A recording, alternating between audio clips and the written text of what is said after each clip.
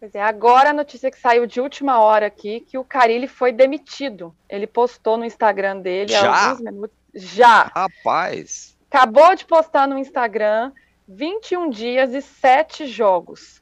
Postou aqui, ó, na- tá aqui na rede social dele. Na última terça-feira, após uma derrota dolorida para todos nós, fui surpreendido com a minha demissão do comando do, do Atlético. Chegou no dia 13 de abril. Andrei, agora com essa novidade aí, durou pouco, 21 dias no cargo. o, o futebol eh, ele tem a capacidade de surpreender até no absurdo. Quando a gente acha que chega num limite, a gente marca um novo recorde. Ah, porque assim, 21 dias para demitir um técnico com a história do, do, do- do- do técnico ah, do Atlético, e, e eu também acho assim, cara, ele, ele, ele não foi bem ontem, mas se explica o que aconteceu. Ainda não é o time que o Carilli quer. Não é? Obviamente que ninguém constrói uma ideia de jogo em 21 dias. E tem vários atenuantes para a partida de ontem. tá? Vários atenuantes que explicam uma tragédia, mas que a gente coloca para dimensionar o que aconteceu. O primeiro tempo, como o Tirone trouxe, não foi uma tragédia, foi um jogo igual. Num segundo tempo, em jogadas aéreas, o Atlético se perdeu, emocionalmente se perdeu. É verdade que a altitude é um complicador. Menos oxigênio, mais velocidade na bola, menos resistência para os jogadores. O jogo muda. E o segundo tempo, os atletas, os atletas têm menos fôlego. E esse tempo de bola passa a ser fundamental. Agora, não para sofrer cinco gols. Precisa se entender o que, que leva um clube como o Atlético Paranaense, que muita gente considera como um modelo de gestão, demitir um técnico depois de 21 dias. Tem algum problema além desse jogo?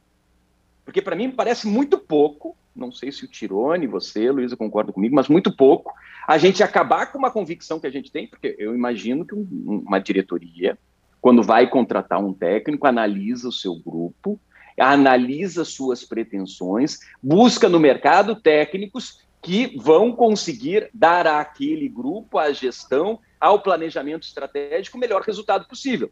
E não se imagina que esse resultado vai ser dado em 20, 30 ou 40 dias.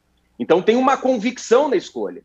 Então mostra um déficit eh, de convicção gigante da diretoria do Atlético se, em função de apenas esse jogo, ele acabou sendo demitido.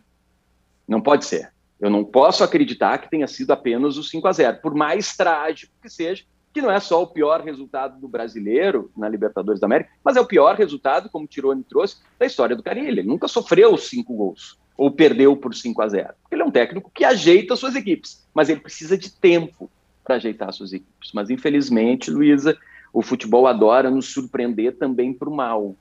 né? A gente vai quebrando esses recordes e mostrando o nosso permanente déficit de convicção na hora de se uh, definir por um trabalho, na hora de se definir pela escolha de um nome como técnico. Mais ainda, é, né, o, o, o, o Andrei e, e Luísa? É, não, é, não, é, nenhuma questão de tempo. Em 21 dias não há tempo para nada. É, é, impossível você avaliar se o trabalho do, do cara é bom ou não é. Não, é. é. impossível. Pode ser quem for, pode ser o Jorge Jesus, pode ser o Guardiola, pode ser quem quer que seja, o Cuca. Né, Em 21 dias não, não há análise possível. Né? É simplesmente isso. Pois é, e é foi justamente sobre essa falta de tempo que ele ressaltou aqui no post dele. Ele falou em 21 dias foram sete jogos, ou seja, sete jogos já consumiram uma boa parte desses, desses 21 dias. Outros sete dias foram para treinos de jogadores que não atuaram e a recuperação dos que chegaram a jogar. Os outros sete para jogo.